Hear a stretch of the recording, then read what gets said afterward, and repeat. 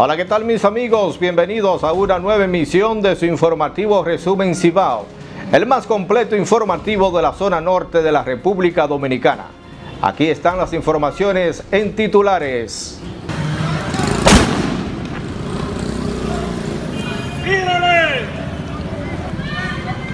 Manifestaciones de protesta siguen en poblaciones del Cibao. Esta vez el movimiento Fuerza Revolucionaria se lanza a las calles exigiendo a las autoridades del Ministerio de Educación reivindicaciones diversas. Comunitarios de Rancho Viejo La Penda en la provincia de La Vega protestan con quema de neumáticos, reclaman 4 kilómetros de caminos vecinales. En Puerto Plata el Colegio Dominicano de Abogados monta una vigilia frente al Palacio de Justicia están reclamando nombramiento de más personal en el Tribunal Inmobiliario. Moradores de Cacique Moca protestan exigiendo la reparación de carretera. Miembros del Ejército de la República Dominicana en el puesto de chequeo El Tamarindo de la décima brigada decomisan dos sacos de un vegetal presumiblemente marihuana.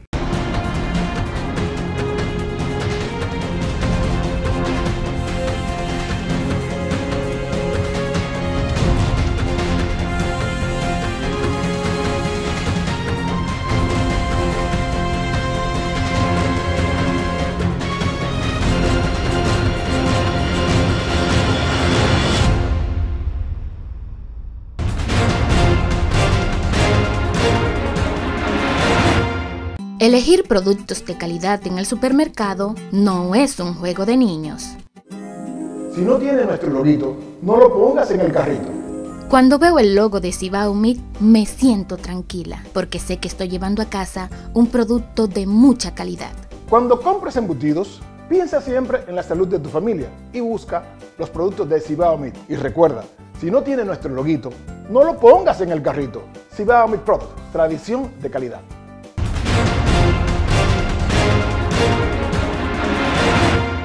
Gracias por estar con nosotros en esta nueva emisión de su informativo Resumen Cibao.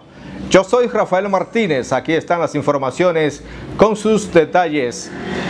El movimiento Fuerza Revolucionaria se lanzó a las calles Nueva Vez en San Francisco de Macorís para exigir de las autoridades del Ministerio de Educación una serie de reivindicaciones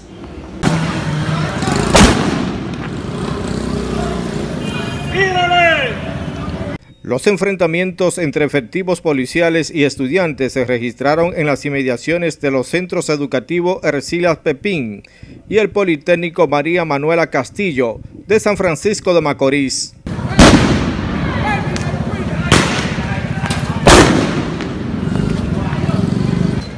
En las calles se observaban escombros y numerosos neumáticos encendidos. La movilización de protesta fue organizada por el movimiento Fuerza Revolucionaria que exige de las autoridades del Ministerio de Educación distintas reivindicaciones, como lo expresa el estudiante Freddy Peña en los liceos Silvia Pepín y Manuel María Castillo. Además, exigiéndole a las autoridades que cumplan con su función, que hagan su trabajo y que envíen a los centros educativos los más de 15 profesores que por meses hacen falta. En estos centros educativos envían que envíen el desayuno escolar, que además equipen los laboratorios de química e informática y la enfermería también. Y también los arreglos de las escuelas y liceos. Es inaceptable que aún estemos viviendo estos momentos, a pesar de que contamos con un 4% para la educación. El FER está en la calle y seguirá en la calle hasta que estos gobiernos escuchen la necesidad de nuestros estudiantes. Según los dirigentes estudiantiles, tanto en el Centro Educativo Ercilia Pepín como en el Politécnico María Manuela Castillo, están careciendo de maestros y personal administrativo.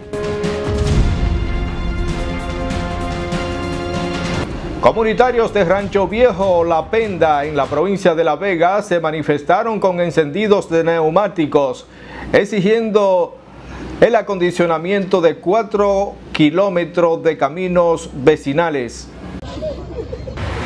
En estos momentos nos encontramos en la comunidad de Rancho Viejo, La Penda, donde comunitarios se han ido en protesta exigiéndole al gobierno la construcción de 4 kilómetros de carretera. Comunitarios de Rancho Viejo La Penda, provincia de La Vega, protestaron con quemas de neumáticos en reclamo de la reparación de la carretera de 5 kilómetros. Bloquearon con escombros y neumáticos encendidos la carretera que conduce a Autopista Duarte, presa de Tavera. La protesta es por la calle, porque la calle está inservible. La calle de nosotros ni los puercos, ni los bueyes. Es una calle que inhumana totalmente. Tenemos 30 años luchando por esta causa. Se le ha llevado carta a la gobernación, al ayuntamiento, a obra pública, directamente al presidente. O sea que estamos completos, nosotros estamos completos. Solo falta que vengan a resolvernos. Un gran contingente policial se apersonó al lugar de la manifestación de protesta. El tránsito vehicular fue paralizado porque los comunitarios realizaron un cordón humano. Abogados montaron una vigilia en el Palacio de Justicia de Puerto Plata reclamando que se ha nombrado más personal en el Tribunal Inmobiliario. El presidente del Colegio Dominicano de Abogados Sesional Puerto Plata, Félix Castillo, encabezó una vigilia en la parte frontal del Palacio de Justicia, reclamando que sean nombrados más personal en el Tribunal Inmobiliario. Los togados se concentraron en las inmediaciones del Palacio de Justicia de Puerto Plata y denunciaron que el Tribunal Inmobiliario se acumulan expedientes y trabajo. Tenemos más de cuatro años soportando esta situación y los abogados ya están cansados. Nosotros vamos a retomar una lucha constante a partir de hoy hasta que se resuelvan los problemas de la jurisdicción inmobiliaria. Ese es el objetivo. Nosotros estamos solamente iniciando hoy, pero vamos a repetir la próxima semana hasta tanto la Suprema Corte de Justicia no se encargue de esta jurisdicción que está calamitosa. De manera que el colegio está aquí en pie porque es intolerante de verdad para los abogados el ejercicio aquí en Puerto Plata, lo que no sucede en otras ciudades. Nos preguntamos por qué en Puerto Plata y en otras ciudades no. Es inaguantable y nosotros exigimos que se resuelva de una vez y por todas. Para que aquí se, se, implante el respeto al ejercicio profesional de los abogados, porque somos una clase importante en la nación dominicana como cualquier otra clase que tenga que ver con el desarrollo social y económico de, un país.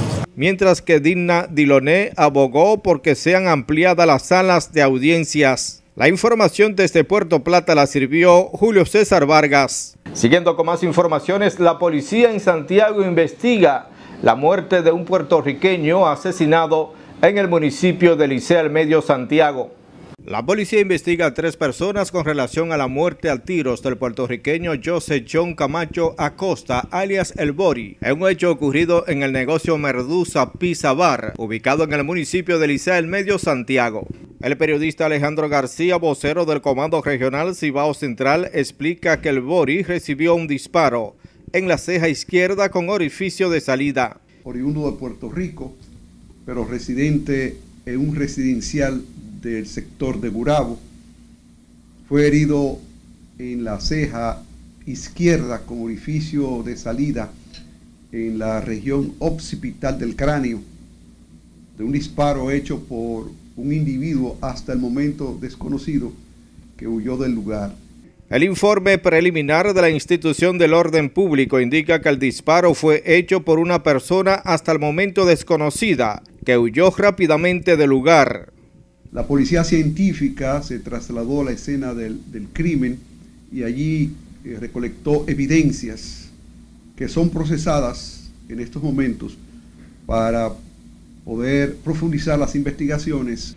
La policía levantó en la escena del crimen varias evidencias que son procesadas para profundizar las investigaciones y poder dar con la captura del prófugo. El cadáver del extranjero fue trasladado al Instituto Nacional de Ciencias Forenses de la ciudad de Santiago para los fines legales correspondientes.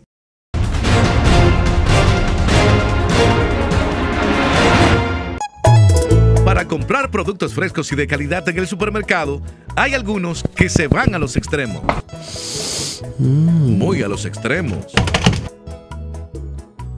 ¡Wow!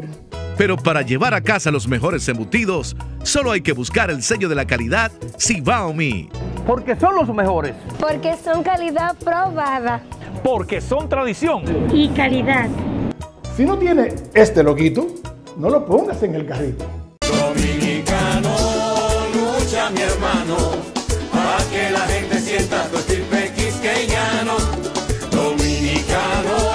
Compatriotas, a nombre de Canal América, a través de Optimum 1014, queremos felicitarle a todos ustedes en el mes de la herencia dominicana. Desde Nueva York para toda la República Dominicana, les felicitamos. Sigan con Canal América 1014 de Optimum. Unidos de corazón, no hay nadie que nos detenga. Les digo otra vez. Moradores de la comunidad El Cacique del municipio de Moca en la provincia de Espaillat protestaron exigiendo al Ministerio de Obras Públicas el acondicionamiento de los principales caminos vecinales de la zona. Cristian Rodríguez con la información. Los habitantes de Cacique Abajo Moca hacen un llamado a las autoridades de turno para que le busquen una solución al estado de abandono en que han estado viviendo por décadas. Hace 50 años hemos estado viviendo en estas condiciones. Por favor, le pedimos a las autoridades competentes que hagan algo por nosotros por la buena. Mientras que el director del Distrito Municipal de Monte de la Jagua hace un llamado a la comunidad a tener paciencia. El alcalde Warding Taveras asegura que el gobierno central y las autoridades están dando los pasos para la construcción de la carretera que conduce al aeropuerto internacional del Cibao. Las quejas son constantes y la gente lo que pregunta es que cuándo van a arreglar la carretera. La carretera de Monte las Aguas tiene un contrato hecho ya para su ejecución. Ahora bien, la gente entiende que la construcción de la carretera es la pavimentación, es el asfalto. No, para hacer una buena carretera primero hay que hacer los drenajes y en eso que está trabajando. Ahí podemos ver que tenemos todas las, las piedras donde se está encachando. Ahora por la lluvia está parada, se continúa de lunes para adelante, pero la obra está marchando. Primero la canalización de las aguas, como es eh, cachi con tenis, luego se va a trabajar en la cuesta, que es el problema principal de nosotros, y luego se va a quitar una carpeta de base para removerlas o con un material calificado bueno de base. En Moca, provincia Espaillat, Cristian Rodríguez, resumen Cibao. Siguiendo con más informaciones en esta emisión de su informativo Resumen Cibao. La Dirección Regional del Ministerio de Obras Públicas con asiento en Santiago dejó iniciados los trabajos de reconstrucción y adecuación de la autopista Presidente Joaquín Balaguer con una inversión superior a los 400 millones de pesos. Y es una obra eh, que sobrepasa los 450 millones de pesos. Obras como esta vienen a beneficiar a los municipios y distritos que son parte de la provincia de Santiago. La Dirección Regional de Obras Públicas y Comunicaciones dejó iniciados los trabajos de reconstrucción y adecuación de la autopista Presidente Joaquín Balaguer en Santiago. La obra cuenta con una inversión superior a los 450 millones de pesos, donde serán reparados unos 17.90 kilómetros de longitud, según explicó Alexis Sosa, director regional de Obras Públicas. Hoy estamos dando inicio, inicio formal porque arrancamos ayer. Esta es una obra importantísima porque conecta a Santiago eh, y, todo, lo que, todo lo que viene de la parte sur con Puerto Plata y la línea noroeste. Eh, es una vía súper importante y una, y una vía que hace años que no había sido atendida. Son 17.90 kilómetros que serán recapeados en las partes más críticas y repavimentados. ¿eh? Por eso queremos agradecer al ministro de Línea Ascensión la atención especial que ha puesto en las obras de vialidad de, de, la provincia de Santiago. El eficiente trabajo que viene haciendo el, el arquitecto Alexis Sosa con el seguimiento a todos los trabajos.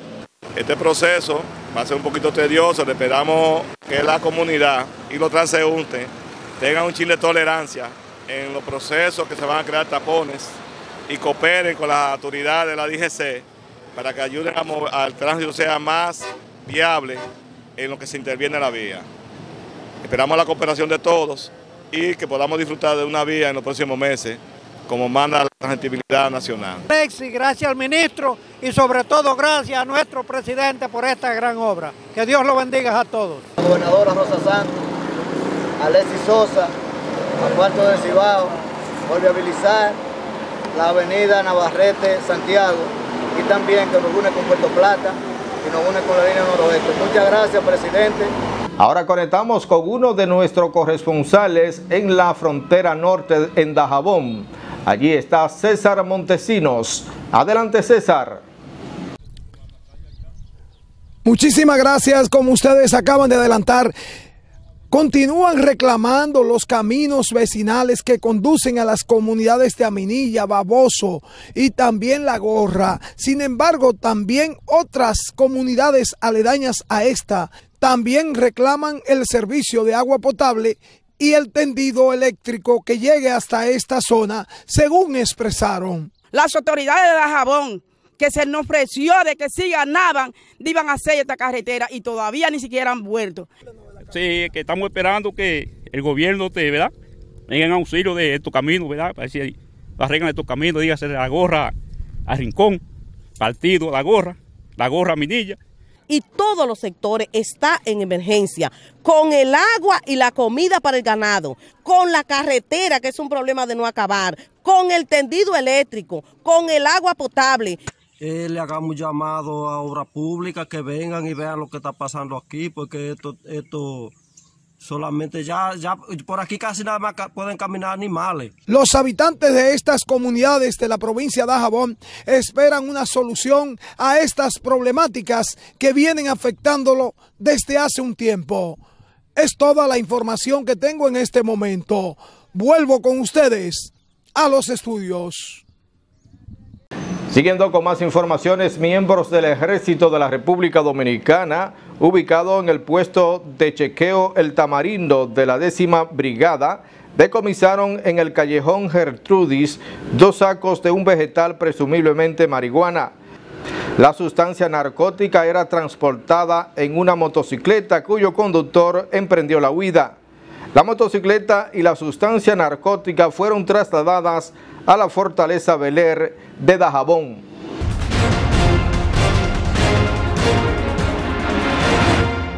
Elegir productos de calidad en el supermercado no es un juego de niños. Si no tiene nuestro loguito, no lo pongas en el carrito. Cuando veo el logo de Cibao Meat me siento tranquila porque sé que estoy llevando a casa un producto de mucha calidad. Cuando compres embutidos, piensa siempre en la salud de tu familia y busca los productos de Cibao Meat. Y recuerda, si no tiene nuestro loguito, no lo pongas en el carrito. Cibao Meat Product, tradición de calidad.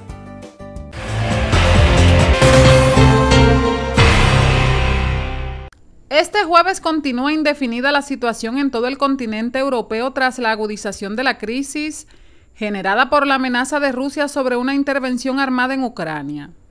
Y mientras el gobierno de Estados Unidos advierte sobre las repercusiones de los ataques, las autoridades ucranianas consideran que aún hay un espacio para el entendimiento vía diplomática. La situación sigue siendo tensa, pero está bajo control. La diplomacia sigue rebajando las tensiones. Y se puede ver que algo está sucediendo, pero es demasiado pronto para decir que los problemas están resueltos. Siguen siendo tan graves y lo seguirán siendo durante un tiempo. Merecen toda nuestra atención. El gobierno podría cambiar de opinión y no adoptar la política cero. En Hong Kong, el temor a mayor repunte de las variantes Omicron y Delta del coronavirus provocó temor en la población, quien abarrota los principales establecimientos comerciales en busca de alimentos para un posible encierro. Ayer fue el día más caro y nos quedamos sin stock. La gente todavía quería comprar, quizás menos. Tal vez compran unos 600 gramos en un día normal y ahora solo la mitad. Si la tasa de vacunación, digamos que las primeras dosis alcanzan el 90%, el gobierno podría cambiar de opinión y no adoptar la política cero. Como han intentado manipular las elecciones en todo el mundo. La subsecretaria de Asuntos Políticos de Estados Unidos realizó una visita a Colombia donde anunció el apoyo de su nación al país sudamericano para evitar una posible injerencia internacional en las elecciones presidenciales y legislativas de este año. Resumen internacional, Keren Robles.